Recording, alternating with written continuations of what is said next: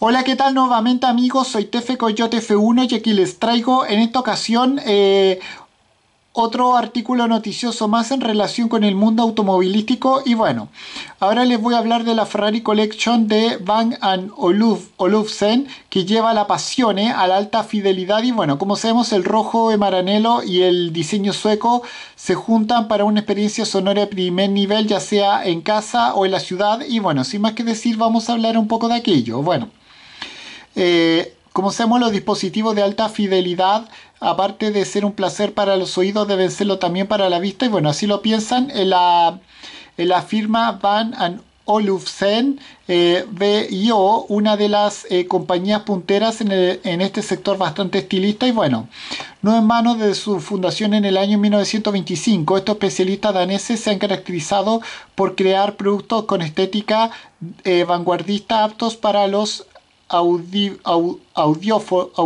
audiófilos más eh,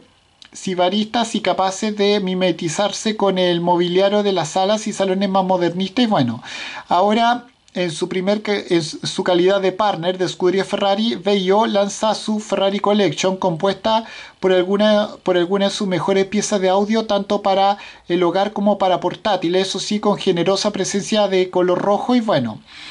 La estrella de la colección es la versión especial del Veo Sound 2. Eh, este sofisticado altavoz doméstico comunica a través de Bluetooth con toda clase de dispositivos y permite la reproducción de canciones con un eh, sonido envolvente de en 360 grados que puede llegar hasta los rincones más escondidos de una, de una casa, a lo que no llegan tantos bolsillos, quizás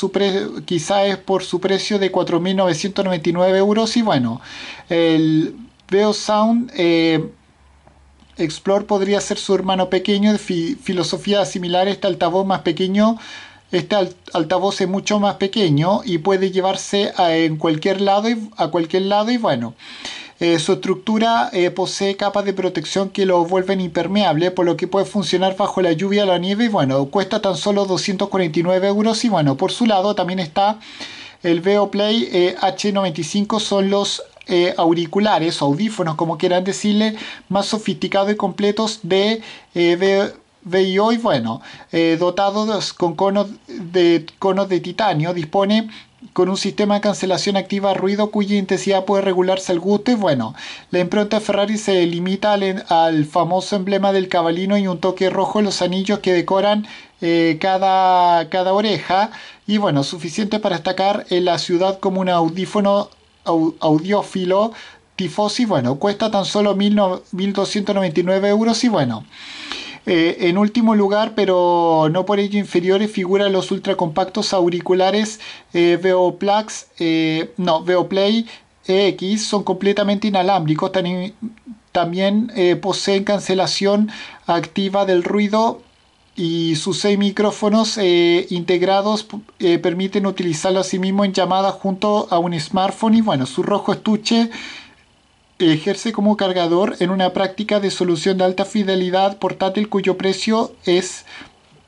cuyo precio es 499 euros. Y bueno, con esto me despido, adiós, que me fuera, chao.